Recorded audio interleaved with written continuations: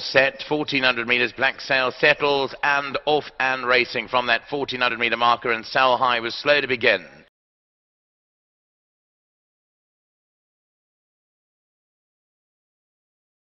particularly well is that early leader. Black Sail's gone up there in the early stages too. Prince of Byword racing behind them, then Fire and Rescue.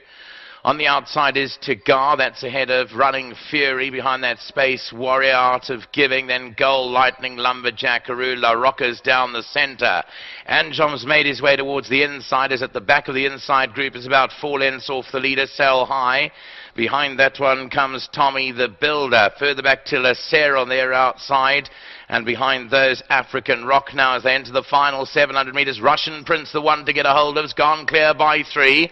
Black Sail, Fire and Rescue runs on behind those. Prince of Byword Anjom's got four lengths to go. Tagar's racing further back in the field. Then comes Sell High on the outside is Gold Lightning.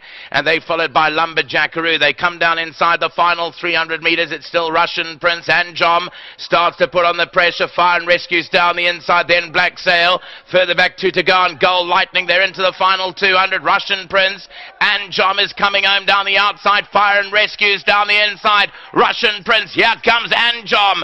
Anjom runs home strongly at Russian Prince. It's Russian Prince and Anjom. Anjom got there from Russian Prince. Goal line. Come home best of all under apprentice Diego de Gouveia. Penny drops for the son of Snitzel today, and Anjom goes on to score. From in second, Russian Prince.